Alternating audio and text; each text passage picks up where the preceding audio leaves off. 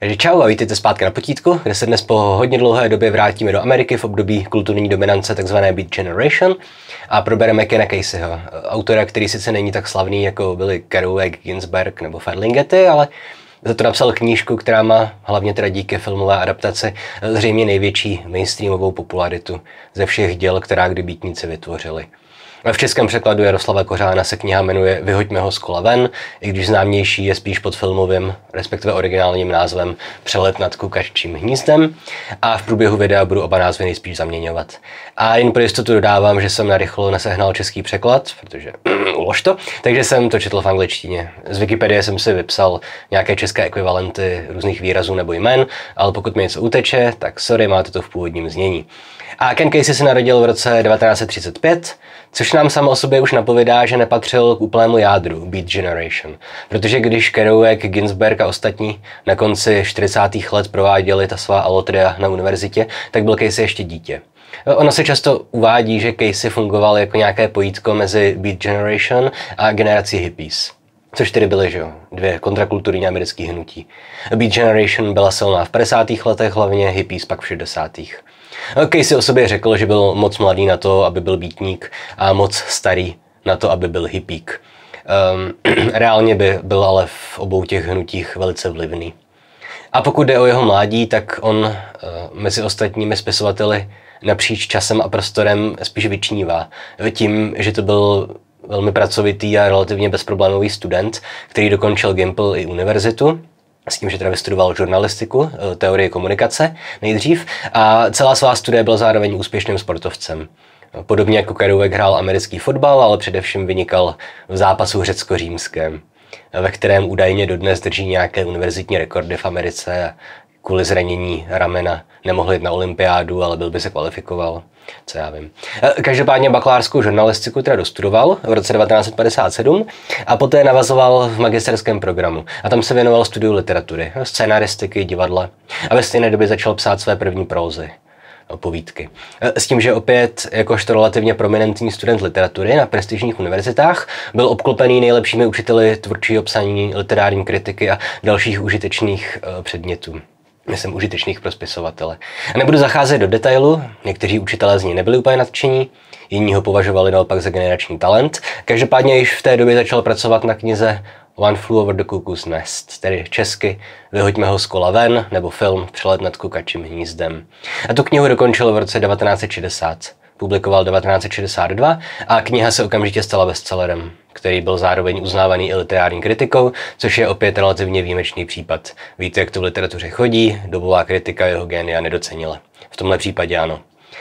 Ale aby to zase nevypadalo, že Casey byl nějaký literární šprt, tak zcela v duchu své doby experimentoval s různými lehkými, nelehkými i dost těžkými drogami, což asi trochu vysvětlím, protože to ovlivnilo i jeho literární dílo.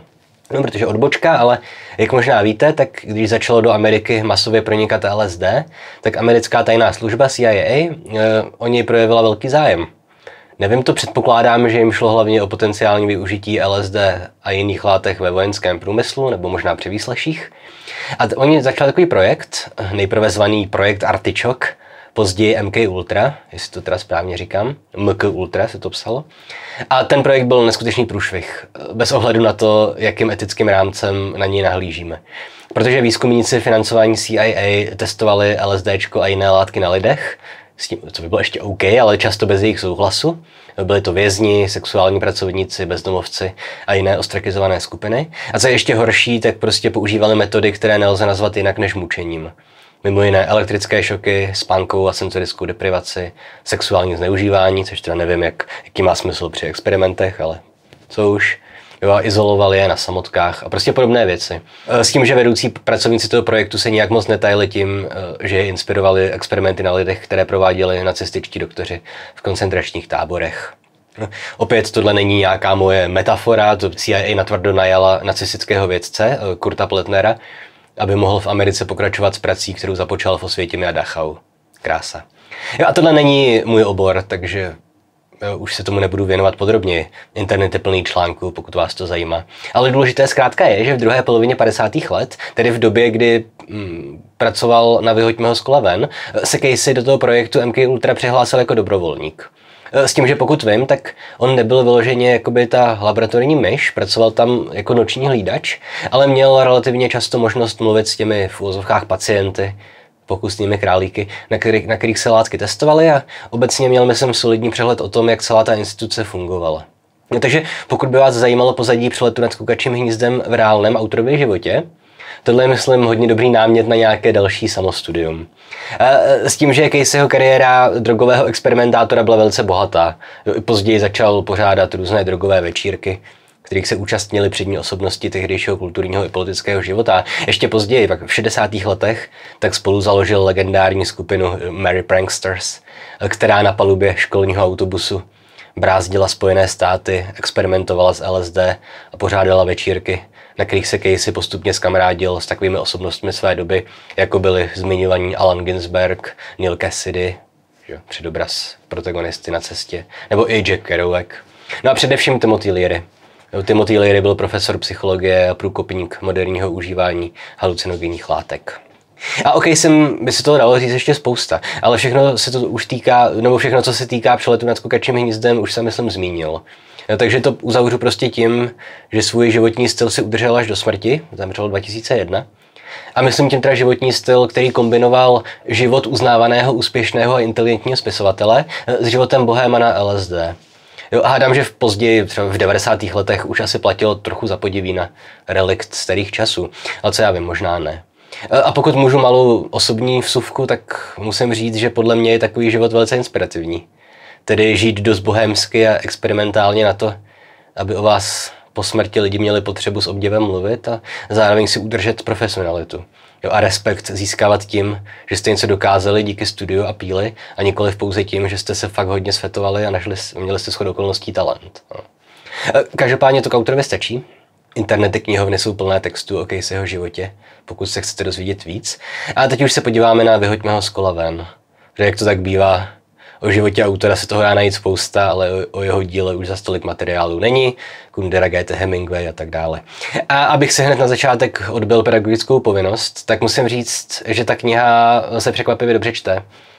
On by se i na základě filmu mohlo zdát, že to je depresivní a náročná četba, ale vlastně vůbec. Sice to má samozřejmě temné momenty a happy end nečekejte, ale rozhodně to není nějaká šílenost ve stylu Joyceovy Odyseje nebo Hledání ztraceného času a podobných modernistických eposů, ale i v kontextu Beat Generation je to snadné čtení. No, možná to je ten důvod, proč zrovna tahle kniha z celé té generace je asi nejznámější. Jo? A OK, já vím, není to úplně krátké, ale pokud máte jenom trošku času navíc, rozhodně doporučuji to přečíst. A opět tohle není z mé strany nějaký učitelský trik. Mnohokrát v minulosti jsem v rozborech říkal, že pokud nejste vyloženě vášniví čtenáři, tak se té které knize máte radši vyhnout, protože si budete akorát trápit a tu literaturu si znechutíte, ale přelet není ten případ. Dobře, eh, první věc, kterou bych měl si zdůraznit, a hlavně teda kvůli srovnání s filmem, protože všichni víme, že to je zákeřné, eh, tak je postavení vypravěče. Dobře, knihu nevypráví protagonista, ten Randall McMurphy, ale a ani to není nějaký vypravěč mimo příběh. Ale je to jeden z pacientů, že ten poloviční indián, zvaný náčelník Bromden, a jehož role je oproti knize ve filmu spíš upozaděna, jakkoliv zůstává důležitou postavou. To byl mimochodem jeden z důvodů, proč Ken Casey nebyl spokojený s tou formanovou filmovou adaptací. No, oni se jednak poštěkali kvůli odměně, kvůli copyrightu, ale jednak Casey mu vadilo, že náčelník nemá ve filmu tak velkou roli jako v té původní knize. A jako souhlasím, je to škoda. No, no ale ten děj teda. No, příběh se odehrává v psychiatrické léčebně, ovládané despotickou vrchní sestrou Mildred Ratchedovou a vypravěčem je náčelník Bromden. Doufám, to tu správně. Bromden je divné jméno v angličtině. A on teda předstírá, že je hluchoněmý a předstírá, že je obecně hloupější, než ve skutečnosti je. Což je mimochodem pro ich formového vypravěče v nějakém uzavřeném prostoru úplně skvělá výbava. Protože ostatní postavy jsou zvyklé ho kompletně ignorovat. Berou ho jako takovou dekoraci, jo, takový inventář. Nemají problém před ním mluvit o různých svých tajemstvích a tak podobně. No to je pro postavu, která je sama součástí příběhu, extrémně potentní nástroj na to, jak získávat znalosti o daném světě. Zkuste schválně vymyslet paralelu z jiného literárního díla. Podělte se v komentech. Jo, kdyby ich formový vypravěč, eh, homodegetický, měl takovouhle, takovouhle moc, jo, takový přístup k informacím. Protože opět předstírá, že je hluchý, takže před ním mluví lidi, i když říkají nějaká tajemství. No, e, zároveň ale náčelník ukázkový příklad nespolehlivého vyprávění. Jelikož ten Bromden, stejně jako ostatní pacienti, dostává různé léky s halucinogenními účinky a občas není úplně jasné, kdy náčelník vypráví vlastně realitu, kdy vzpomíná na dětství nebo kdy má vyloženě halucinace. Pro ně je typický motiv umělé mlhy, kterou na něj vypouští ta sestra Račídová. V halucinacích samozřejmě ne ve skutečnosti. Jo, ale obecně mm, ta jeho, ta jeho nespolehlivost nespočívá jenom v tom, že bere nějaké drogy nebo léky. On prostě reálně má psychické potíže. A Bromden nám nenásilnou cestou v první části představí osazenstvo té léčebny.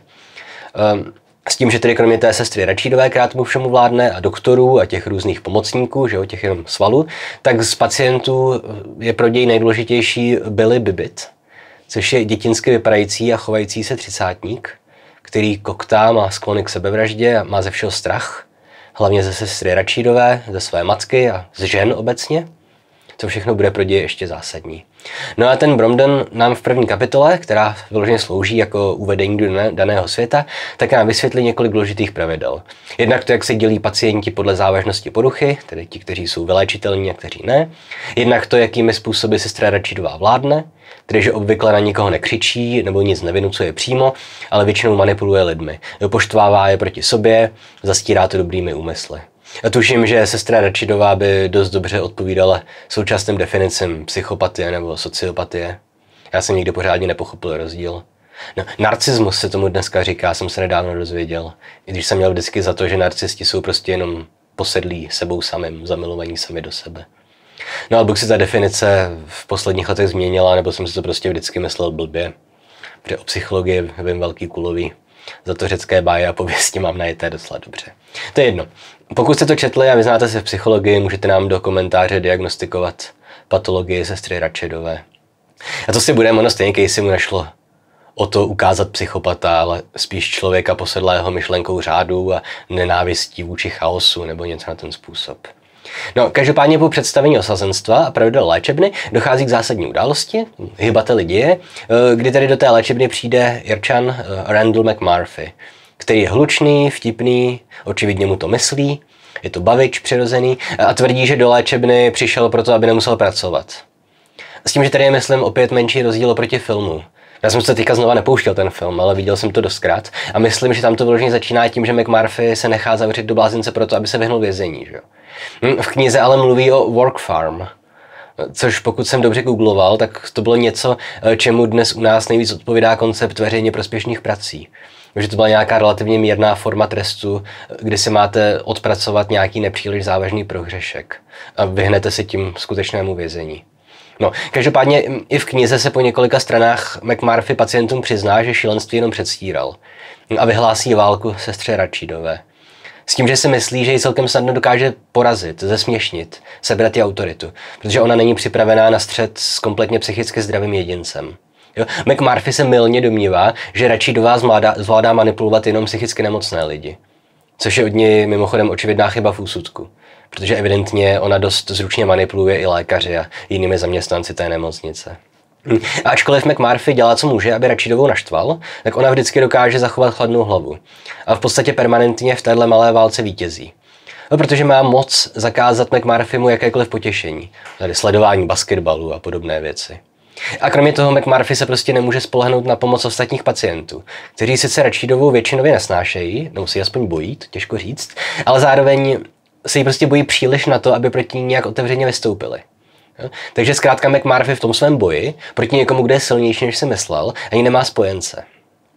Co je ale zároveň tady v té sekci knihy, kdy tedy McMurphy se pokouší nějak ponížit tu Račedovou, co je zásadní, je to, že McMurphy ukáže ostatním vězňům, lomeno pacientům, ukáže jim způsob, jak z té léčebny můžou utéct. A sice tak, že by v koupelně teda vytáhli nějaký těžký panel a rozbili s ním okno.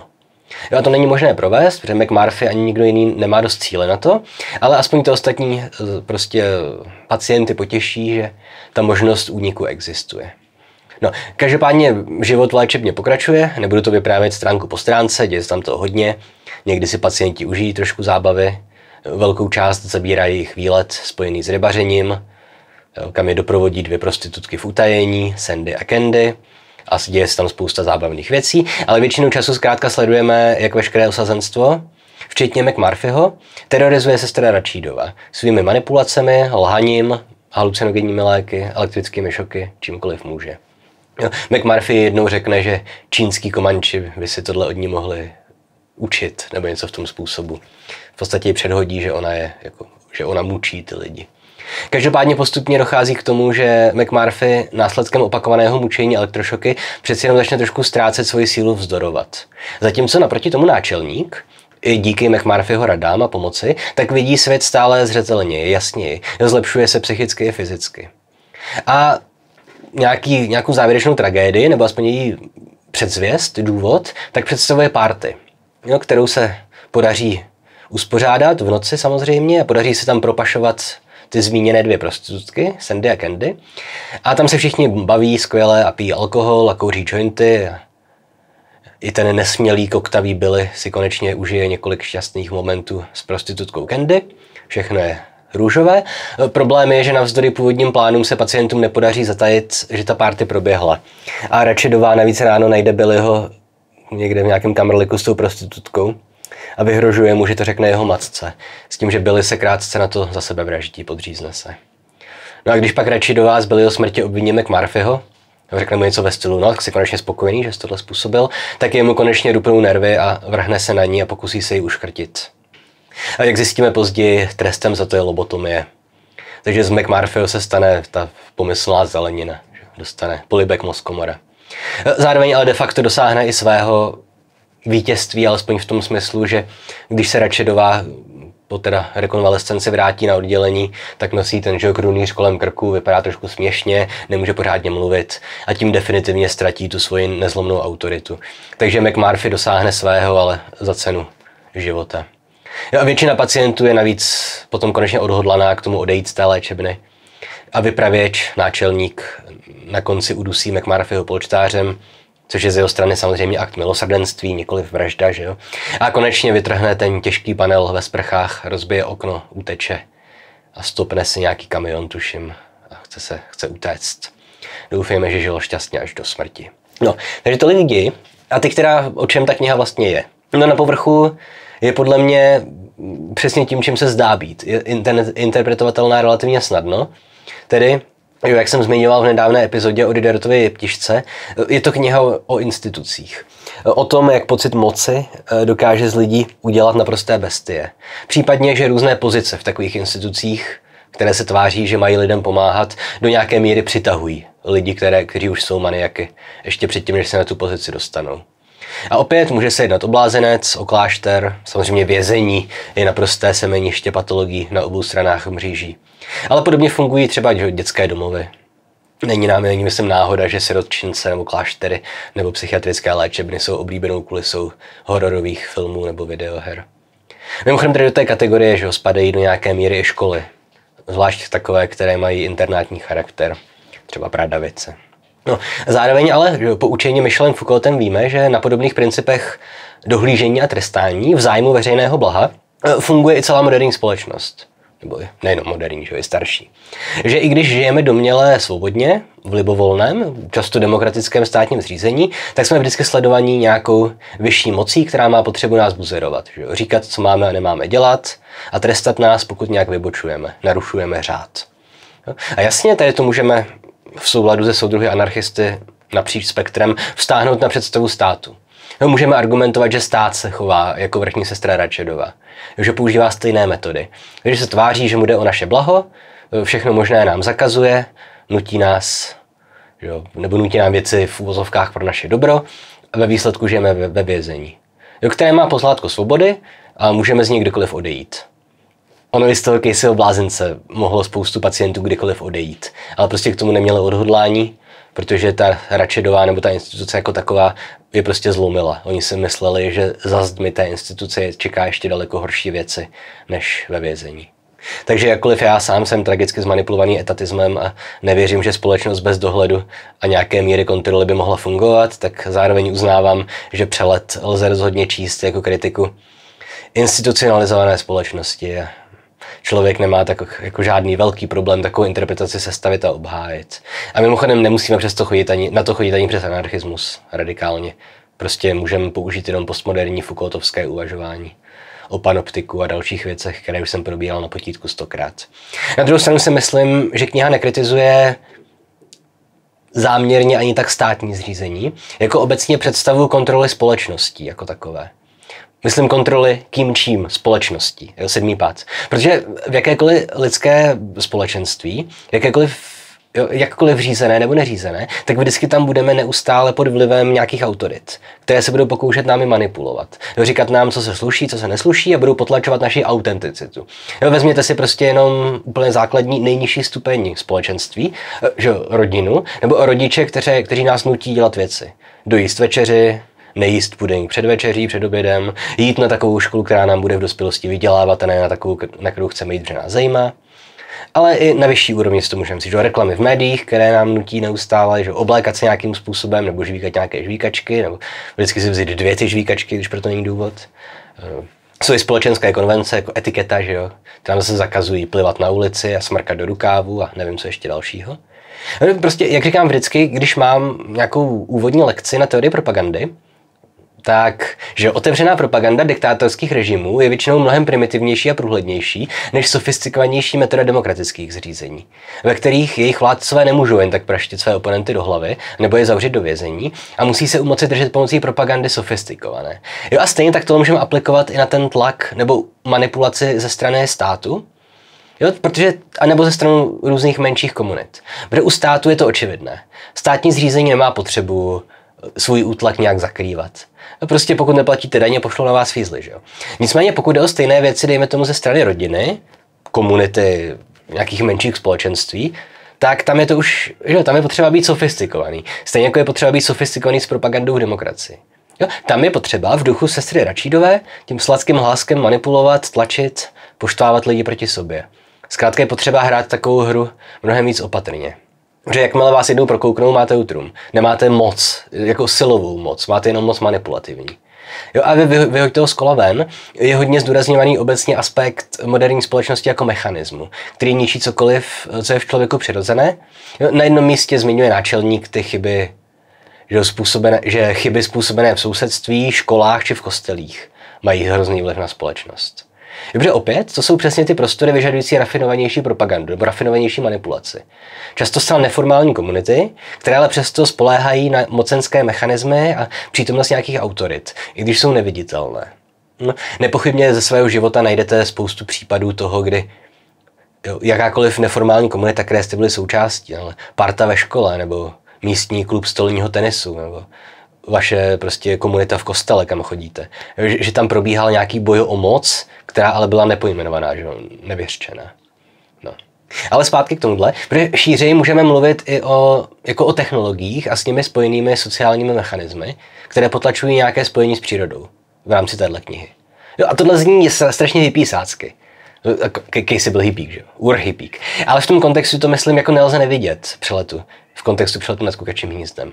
Jo, protože v první řadě náčelník Bromden pochází z indiánské rezervace. Jo, z prostředí, které pro Američany prostě představovalo reziduum původní panenské Ameriky, jo, neskažené evropským koloniálním terorem. Náčelník je ale zároveň člověk, kterého ta mechanizovaná společnost totálně semlela. Udělala z něj že zlomeného nepoužitelného jedince. Jo, jinými slovy, Bromden je před svým oživujícím setkáním s McMurphym sám spíše už jenom stroj, stroj na zametání chodby. Že? Stroj bez vlastní vůle a rozumu, zbavený své sexuality, což je mimochodem další důležité téma knihy, potlačování přirozené půdové sexuality. Jo, a náčelník a ostatní pacienti eh, jsou ale v první řadě dehumanizovaní, jo, zbavení svého lidství. Což je opět problém spojený s celou euroamerickou moderní společností moderní společností myslím období moderny, nikoli v současný svět. No teda, eh, chci říct, že psychiatrická léčebna sice představuje extrém i v rámci naší společnosti, ale základní mechanismy fungují stejně. Jak v běžné realitě zdravých lidí, tak i v blázenci či jiné instituci. A na tohle téma, že odcizení a dehumanizace, jsem dělal už asi tisíc videí. Jo, mimo jiné o tom mluví Heidegger, Baudrillard, Marx, ale také i umělci, že, meziválečné avantgardy. A v náčelníkových promluvách je ta idea zlého, mechanizovaného světa zcela očividná, nepřehlednutelná a ze strany autora to prostě byl záměr. Semantické gesto, chceme-li se vyhnout spojování autora s dílem. Jo, protože náčelník přirovnává sestru Račidovou ke stroji, opakovaně. O pacientech, kteří jsou považováni za nevylečitelné, říkají, že jsou to stroje s poruchou, kterou není možné opravit. Prostě používá tedy tu technologickou uh, hantýrku. Společnost přirovnává ke kombajnu. Na jednom místě používá srovnání s traktorem.